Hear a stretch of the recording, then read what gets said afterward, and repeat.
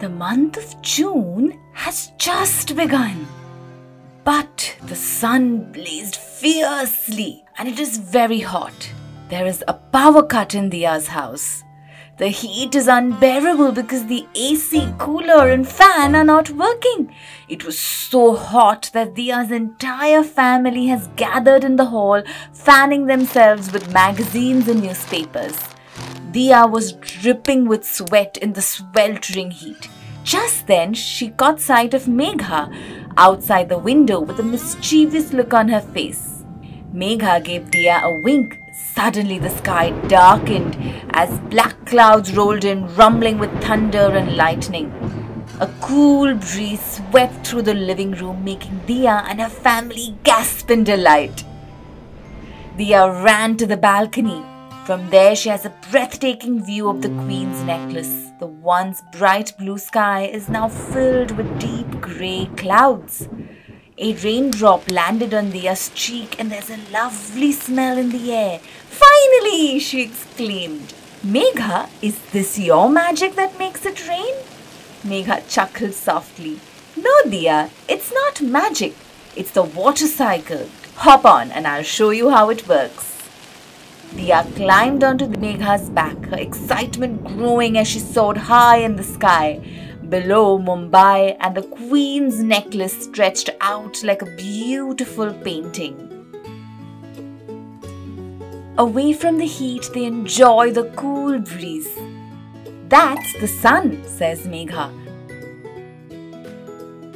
And those are rivers, lakes, and that is the ocean. When the sun heats up, the rivers, lakes, and the ocean, the water turns into water vapor and rises into the air. You can see it at home too. When you heat water on the stove, the steam rising up is water vapor. This first step is called evaporation. As the water vapor goes high up in the sky, it reaches the cooler air high above and turns into tiny droplets of water. These droplets combine with dust and gases to form clouds. This process is called condensation. Megha zooms higher into the sky where fluffy white clouds surrounded them. These clouds are full of water. When it's full and can't hold anymore, it bursts open releasing rain. Clouds are just like sponges, like the ones you use in the shower or to wash the dishes. When a sponge can't hold more water, it drips. Clouds do the same. They release rain, hail, or snow.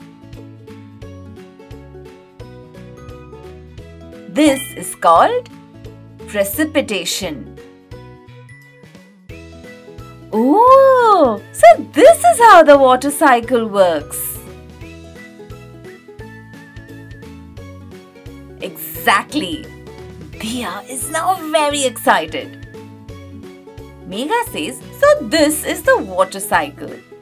And after it rains, the water collects in rivers, lakes, and oceans, or it soaks into the ground as groundwater. This cycle keeps repeating and ensures we always have rain. Diya is amazed. Diya and Megha now return home.